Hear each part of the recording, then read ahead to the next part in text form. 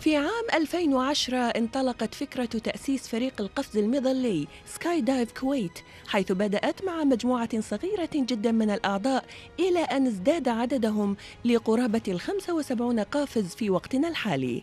ويعد فريق Skydive Kuwait من أبرز الفرق المحلية الناجحة في مجال الرياضات الجوية حيث شارك في العديد من المحافل الدولية.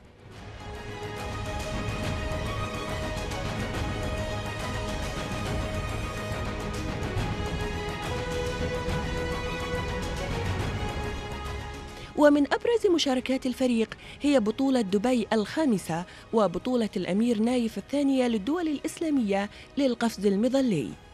ومن أهم المحافل العالمية التي شارك بها الفريق هو مهرجان Winter Festival السنوي في دبي حيث شارك بقفزة مميزة مكونة من أربعين قافز.